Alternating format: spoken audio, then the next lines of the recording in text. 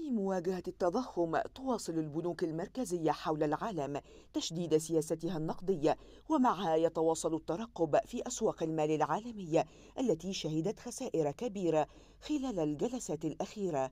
توقعات المحللين تشير إلى أن أسواق الأسهم العالمية ستواصل نزف الأموال في الأيام المقبلة مع تواصل عملية البيع المكثفة من قبل المستثمرين الذين ينتقلون إلى أصول أكثر أمانا مثل الذهب.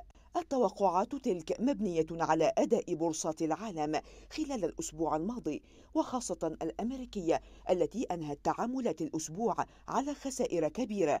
وسجل مؤشر ناسداك المجمع أدنى إغلاق له منذ عام 2020 محققا خامس خسارة أسبوعية على التوالي وهي أطول سلسلة خسائر منذ الربع الرابع من عام 2012 كما سجل مؤشر ستاندرد أند بورز 500 خسارته الأسبوعية الخامسة على التوالي وهي أطول سلسلة من الخسائر الأسبوعية منذ الربع الثاني من عام 2011 إلا أن اللافت أن مؤشر أسعار الطاقة يستمر وحده في الارتفاع في ظل الهبوط الجماعي للقطاعات الرئيسة.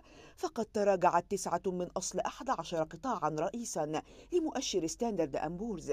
في حين ظل مؤشر أسعار الطاقة مرتفعا بنسبة 2.9% في ظل ارتفاع أسعار النفط. الخسائر لحقت بالمؤشرات عقب يوم واحد من إعلان البنك المركزي الأمريكي عن أكبر زيادة في أسعار الفائدة منذ 22 عاما عند 5% وسط مخاوف من أن المركزي لن يتمكن من مكافحة التضخم كما هو مخطط حيث هناك ضغوط تضخمية خارجة عن سيطرة المركزي ستغير من خططه وتدفع باتجاه رفع الفائدة بأكثر من المتوقع. يتوقع كثير من المتداولين ارتفاعا في الفائدة بمقدار 75 نقطة أساس في اجتماع البنك المركزي الأمريكي في يونيو على الرغم من تأكيد رئيس الاحتياطي الفيدرالي جيروم باول بأن نسبة زيادة الفائدة عند 75 من 100% ليست على طاولة البحث.